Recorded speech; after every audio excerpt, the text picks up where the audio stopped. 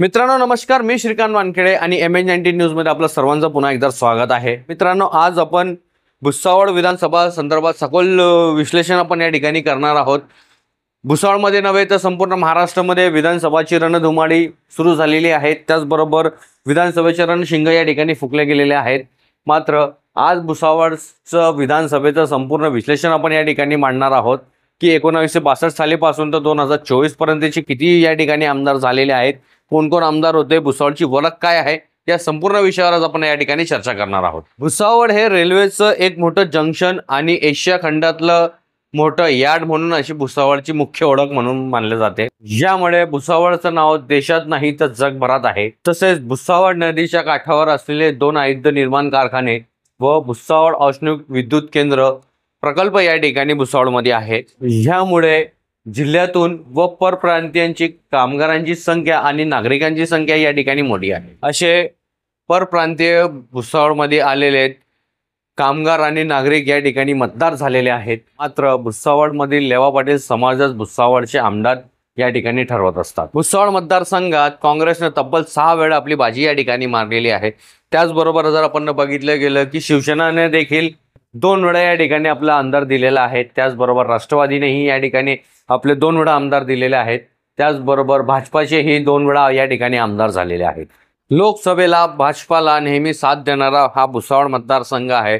मात्र भुसावळ विधानसभेमध्ये एक हा वेगळी आपली वडक या ठिकाणी निर्माण करत असते. भुसावळ विधानसभा मतदारसंघ दोन हजार नऊ सालीपासून या ठिकाणी राखीव झालेले आहेत. मात्र लेवा पाटील समाजाचा इथं एक हाती वर्चस्व या ठिकाणी राहिलेलं आहे. आजच्या क्षणी भुसावळ मतदारसंघात लेवा पाटील समाजाची मतदारांची संख्या पण पंच्याहत्तर हजार ते ऐंशी हजाराचं लगभग या ठिकाणी आपल्याला बघायला मिळत आहे. त्या एकूण मतदानापैकी ऐंशी टक्के ते नव्वद टक्के मतदान एकजूट होत असतात. एकशे बासष्ट सालीपासून तर दोन हजार चार पर्यंत या ठिकाणी बारा आमदार झालेले आहेत. त्यापैकी नऊ आमदार लेवा पाटील समाजानं आपली बाजी या ठिकाणी मारलेली आहे. त्यात एकोणावीसशे बासष्ट ते एकोणावीसशे पंच्याऐंशी पर्यंत भुसावळमध्ये सहा वेळा काँग्रेसचं वर्चस्व या ठिकाणी राहिलेलं आहे जर आपण या ठिकाणी जर बघितलं तर निळकंठ फालक दत्तात्रय भिरुड प्रभाकर महाजन देवीदास बोडे अशांनी काँग्रेसमधून आपली बाजी मारलेली होती. एकोणावीसशे पंच्याऐंशी साली कामगार नेते म्हणजेच डी के चौधरी यांनी जनता दलाकडून आपली बाजी मारली. यापुढे एकोणावीसशे नव्वद साली एम यासिन बागवान यांनी लेवा पाटील समाजाच्या व्यतिरिक्त पहिले आमदार या ठिकाणी झाले एकोणावीसशे पंच्याण्णव साली पुन्हा भुसावळ विधानसभेमध्ये वारं फिरले. आणि शिवसेनेचे जिल्हा अध्यक्ष राजू दायमा यांच्याऐवजी जिल्हा परिषद सदस्य दिलीप भोडे यांना भर सभेत शिवसेना ज- प्रमुख बाळासाहेब ठाकरे यांनी त्यांची उमेदवारी दिली. आणि मात्र दोन वेळा ते या ठिकाणी निवडून देखील आले. पण भुसावळकरांनी बाळासाहेब ठाकरे यांच्या शब्दाला मान देत दिलीप भोडे यांना विधानसभेत पाठवले. एकोणावीसशे नव्याण्णवमध्ये देखील दिलीप भोडे यांनी शिवसेनाचा भगवा फडकावला.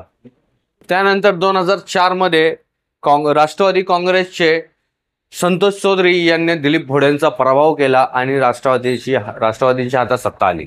मात्र राष्ट्रवादीचे संतोष चौधरी यांनी सत्तावीस हजार मताची आघाडी घेतली होती. दोन हजार नऊ साली भुसावळ विधानसभा हे राखीव झालं.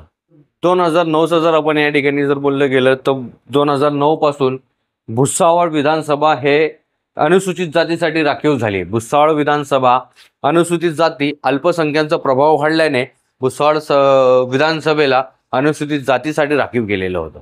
त्यावेळी राष्ट्रवादीच्या उमेदवाराची शोध घेत आमदार संतोष चौधरी यांचे सीय सहाय्यक संजय सावकारे यांच्यापर्यंत येऊन थांबले. दोन हजार नऊमध्ये या निवडणुकीमध्ये त्यांना विजय प्राप्त झाला.